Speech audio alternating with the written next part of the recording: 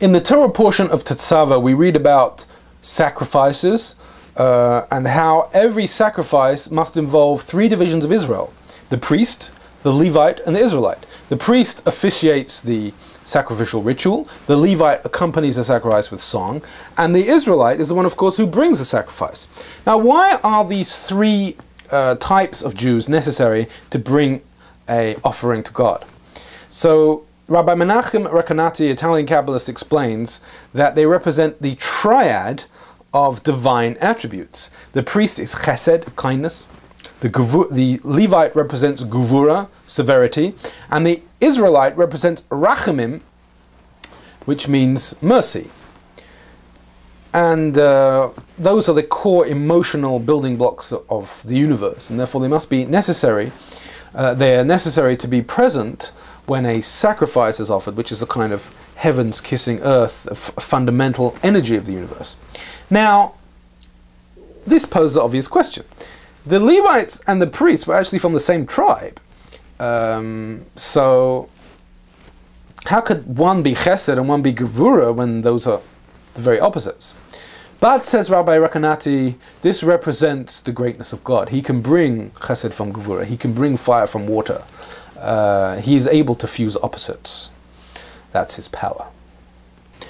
Chapter 28, verse 17, we read about the breastplate, which had 12 stones corresponding to the 12 tribes of Israel. Now, everything in the Torah is precise. If there's 12 tribes, there have to be 12. There couldn't have been 13 or 6 or 300. It's 12 for a reason. What is the inner spiritual reason why there's 12 tribes?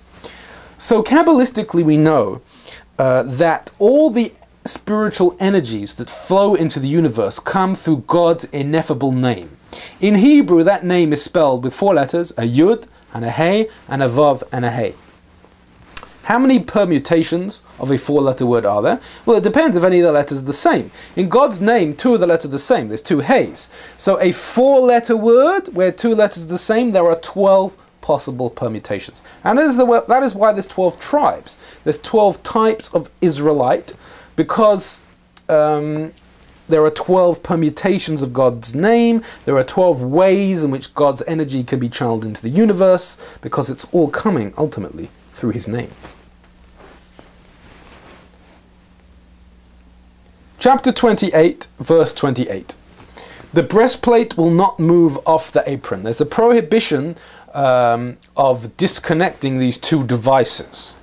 Now, what is the meaning of that? So, the word apron in Hebrew, ephod, has a gematria, a numerical equivalent of 85. If we add up the Hebrew letters and their numerical, uh, each one has a numerical value. The word, the word, the number 85, if we spell it back in Hebrew, is peh, which means mouth. So, this is a prohibition of moving the mouth away from the uh, heart, where the breastplate is located. What is the message here? So the Degel Machane Ephraim teaches us that this is a prohibition against duplicity of using your mouth to say something that your heart doesn't feel. The Torah is saying that's forbidden. You're not allowed to do that. That's insincere. And the whole point of Torah is to bring us to sincerity, to bring us to truth. So therefore, do not move the breastplate off the apron. Do not ever move your mouth away from your heart and say something which your heart does not mean. Chapter 29, verse 1, we read about seven days of inauguration. Again, everything's precise. Why was this a seven day party? Why, why do we need seven days to inaugurate uh, the tabernacle? Why can you do it in two days? Or why not three weeks? So, this boils back to the seven days of creation, says the Zohar. God created the world in seven days. And what was the point of the world? The point of the world is that His presence should really be dwelling here, that we should be conscious of the divine. And that's what the tabernacle was all about. It was a building to remind us of God and a building in which God's presence could rest. So, building the tabernacle really represented the pinnacle of creation. It was the ultimate culmination of what God wanted. He wanted to be at home here in, in, in bricks, in mortar, in human beings, in flesh and blood, in wood. He wanted to be present in a palpable way in the universe. So, to hint to that, to tell us that the seven days of creation reached a pinnacle in the tabernacle, the inauguration of the tabernacle lasted seven days. Chapter 29, verse 10 verse 16, verse 20, Moses slaughters the sacrifices, not the priests. Why did Moses slaughter, slaughter sacrifice, not the priests? Rabbi Menachem Recanati, Italian Kabbalist, says because a priest is chesed, he's kindness, whereas slaughtering, killing, slicing is din, it's gevura. So you can't expect a man of chesed to do an act of gevura, and that is why Moses was called upon in this very first instance um, to do something which is consistent with his own divine energy.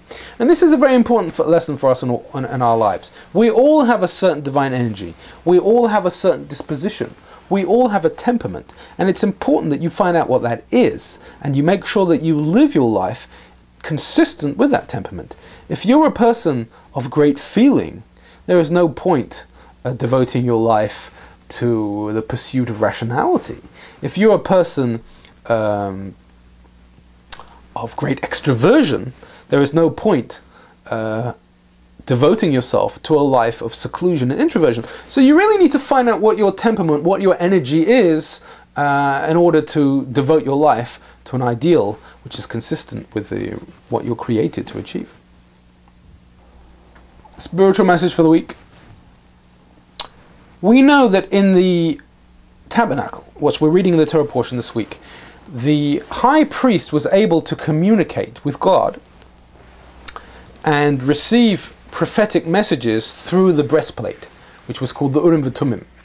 Uh, the breastplate contained within it um, this uh, parchment scroll with a divine name on, which uh, charged up the breastplate, enabling the, the, the high priest to receive some sort of insight, some sort of prophetic message. So Rashi says that um, it was some sort of miraculous process and charged with this scroll, the breastplate lit up. But Maimonides has a different opinion. He says that it was all a process of prophecy, and the high priest would actually uh, use his powers of prophecy to discern the answer using the by looking at the breastplate it would inspire him to prophecy now, how do we do that nowadays? Where is prophecy found in the current era? Is there any prophecy? So obviously we don't have biblical prophets.